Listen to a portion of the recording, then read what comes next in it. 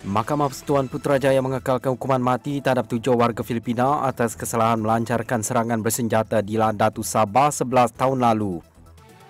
Seorang penganggur didakwa di Mahkamah Magistrate Petaling Jaya dengan pertuduhan membunuh seorang pereka dalaman di sebuah unit pangsapuri di Bandar Seri Damansara 14 September lepas.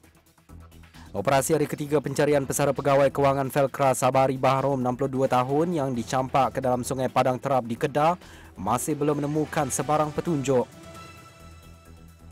Kementerian Kesihatan menubuhkan satu pasukan petugas khas bagi menyiasat insiden kematian seorang pakar perubatan patologi di Ladatu baru-baru ini.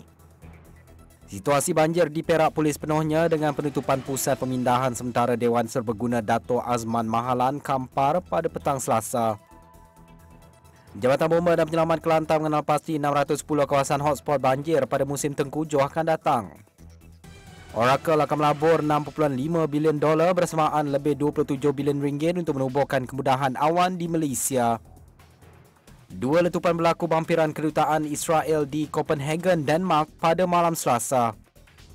Spanyol merancang untuk mengantar dua pesawat tentera bagi membawa keluar 350 warganya dari Lubnan seawal Kamis. Polis Thailand akan mendakwa pemandu bas sekolah yang terbakar mengakibatkan kematian 23 pelajar dan guru di Bangkok.